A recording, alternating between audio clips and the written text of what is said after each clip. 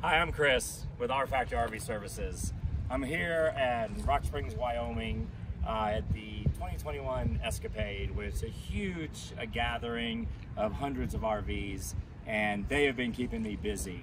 But what I want to talk about with you is our inspections. I just got off a call that the reason I'm doing this video is because it's quite emotional.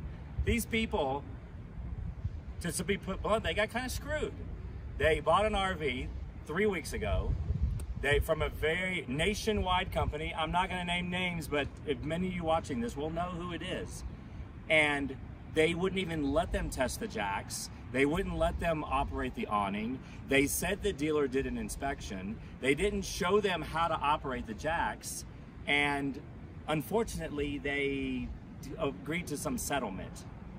And I asked him if he had inspected. I knew the answer, but he didn't.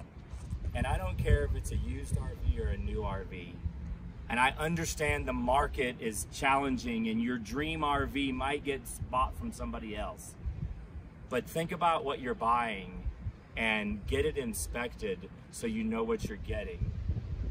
These people called one company and they said they couldn't help it because they something was obsolete.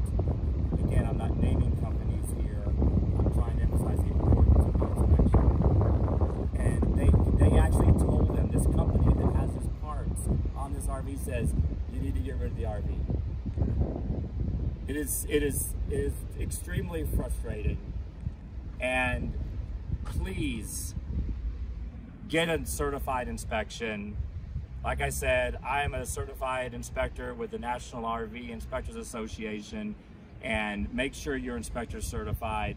Again, think about your decision, think about the money you're spending, and think about the money that you could lose if you don't know if your RV works or what works and doesn't work on your RV.